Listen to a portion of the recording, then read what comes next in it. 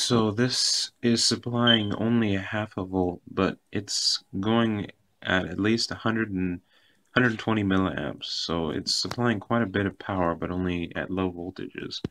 So I can't run any large motors because most motors require a higher voltage than that, but these little motors will run on it. It seems to easily be able to handle both of these motors at once. The um, current draw doubles.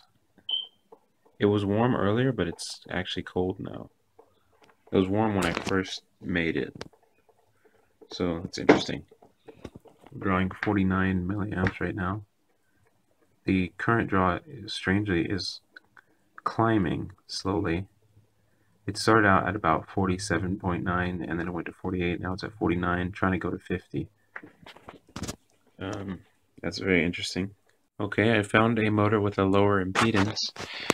This one is drawing 35, almost 36 milliamps at a half a volt or at 0.6 volts, and so it's spinning much faster. Basically, the lower resistance on the inside means that it can draw more current at the same voltage. So, therefore, it spins faster.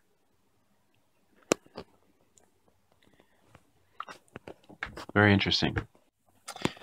So I've um, I put the lower impedance motor here, and I've got it running. It's running quite fast. Um, it's running for about 10 minutes now, and I've gone ahead and I've sealed up the battery. I've used some hot glue. Um, you can't see it too well here, but I put hot glue around where the copper comes out and hot glue around the inside. Um, so yeah, so it's sealed up, so nothing should be able to escape. I put it on this coffee paper so I can see if it forces a leak, if the pressure builds up or something, or if any any um, of the electrolyte gets out. And I'm just going to see how long it runs. I'm going to leave it here all day and uh, see how long it runs, right? It's drawing about 30, 30 milliamps, 35 um, from this motor at about uh, 0.61 volts. And uh, see what happens.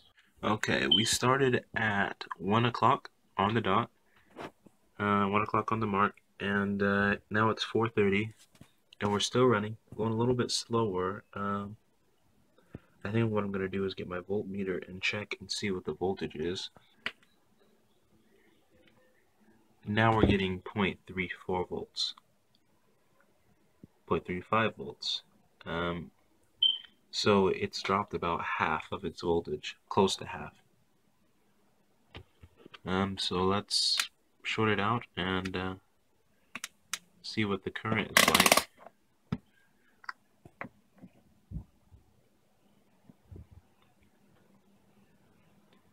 See now it's maxing out at about 60 milliamps. So yeah, it's dropped quite a bit. Hasn't leaked at all. This is still completely dry.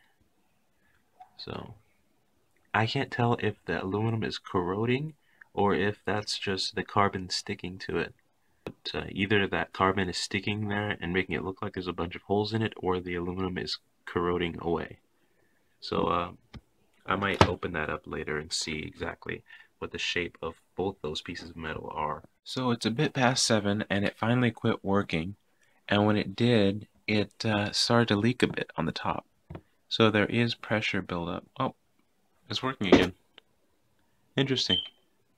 But if you can see that little bit of bubble on the top, and um, a little bit of leakage. So there's definitely a little bit of pressure inside.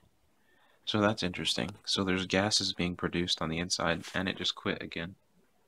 Sometimes if I bang it, yeah, sometimes if I bang it, it'll start up again, which I find also is interesting. And also if I, um, if I move it around, if I shake it, or if I just tilt it, sometimes that's enough to get it going.